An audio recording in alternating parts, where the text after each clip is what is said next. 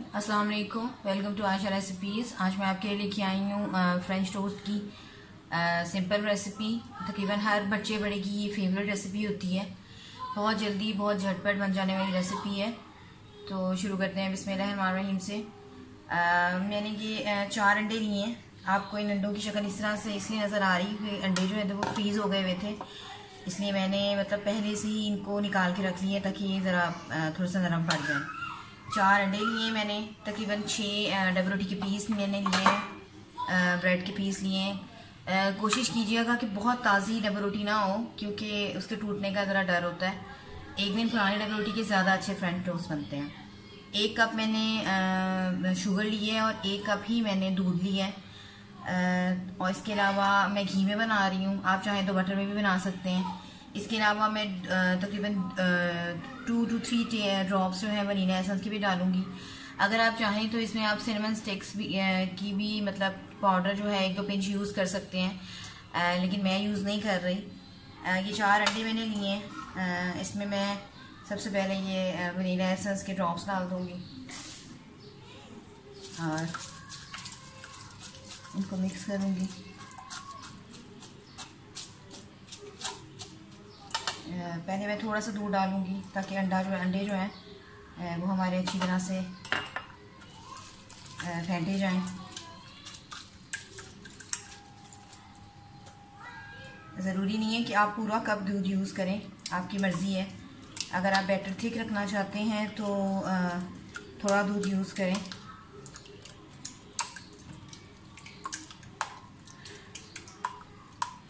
साथ ही मैं इसमें चीनी भी डाल दूँगी। और बाकी दूध अगर मैंने डालना होगा तो मैं बाद में डालूँगी। क्योंकि फिर बैटर जो है वो एकदम पतला सा हो जाता है।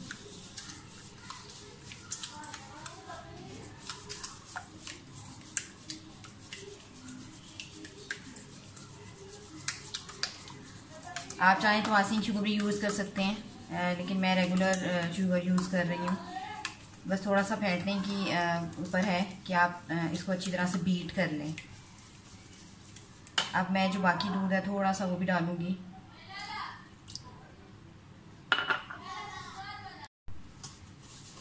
दोबारा से बीट करें।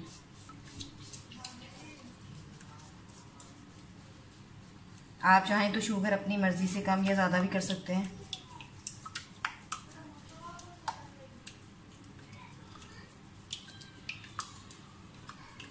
आप इसको ब्रेकफास्ट की रेसिपी के तौर पे भी यूज़ कर सकते हैं और एज अ स्नैक शाम की चाय के साथ भी खा सकते हैं। अच्छे लगते हैं।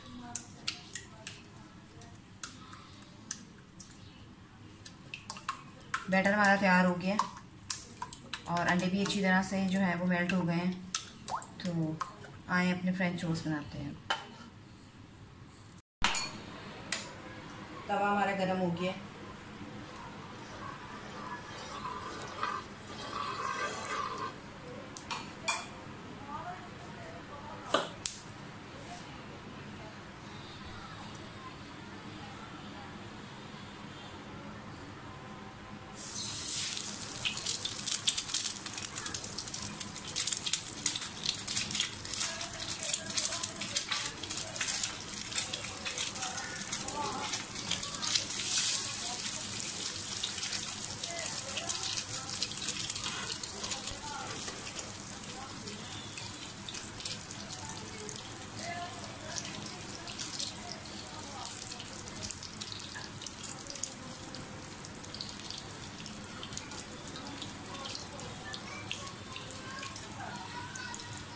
आग दरमिया रखें, बहुत ज़्यादा ऊँची आग पे मत बनाएँ और ना ही बहुत ज़्यादा कम फ्लेम पे बनाएँ इसको।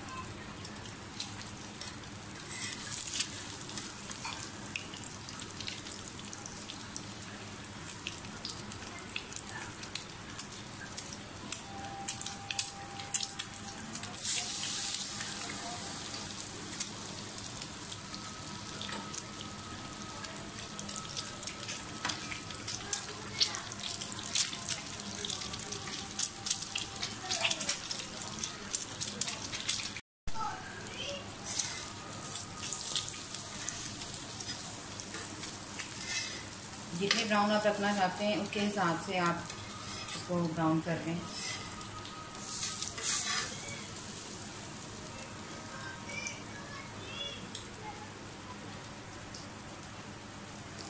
बहुत जल्दी बहुत क्विक रेसिपी है।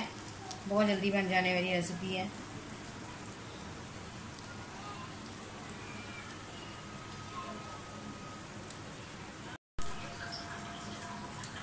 फ्रेंच टोस्ट हमारे रेडी हो गए हैं। इसी तरह बाकी भी तैयार कर लूँगी और फिर आपको डिश आउट करके दिखाती हूँ।